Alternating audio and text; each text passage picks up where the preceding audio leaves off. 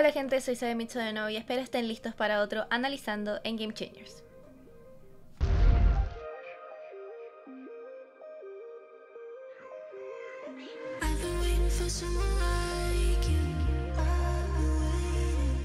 El panorama es este. Kruno tuvo el mejor inicio en el Vine, 3 a 9 de hecho. Aunque una cosa es cierta, el mental de este equipo es increíble para sacar 5 rondas seguidas al cambio de lados. Pero BBL es duro de roer y se ponen en punto de mapa y de serie primero. En esta situación es todo o nada para Kru. Micaela no había tenido el mejor inicio en el Vine, pero estaba dispuesta a sacar esa primera baja a como de lugar. Y lo consiguen. Buen trabajo. BBL se queda sin dominio de Hookah y necesita sacar esa información. ¿Es A? ¿Es B? Eva decide tomar riendas en el asunto y utilizar el forja caminos para baños y limpiar la zona con el fin de ganar el espacio a sus compañeras. No hay nada tampoco. Brim y Bridge no están confiadas en poder pelear todo el site, así que toman baños y esperan refuerzos. Se viene la entrada de Crew. En el momento que escuchas una tumba de Ivas, es hora de correr. Micaela gana mucho tiempo y espacio con esa definitiva, mientras se planta la spike. Pero BBL se está tardando mucho. Con ir presiente que pueden venir por las espaldas y tira muy buen smoke en corta. Pero si nos están pushando por las espaldas, necesitamos recuperar espacio de alguna forma. Micaela y Kalita se ponen manos a la obra. Deciden pusharse y en un perfecto doble swing,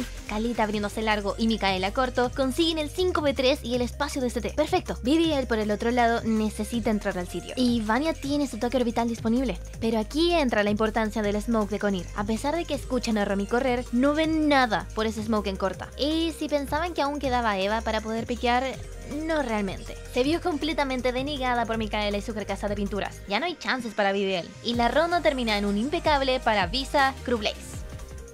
Mantente al día con Game Changers del 28 de noviembre al 3 de diciembre con más información en valorantesports.com y las redes oficiales de Valorant Latinoamérica. Nos vemos.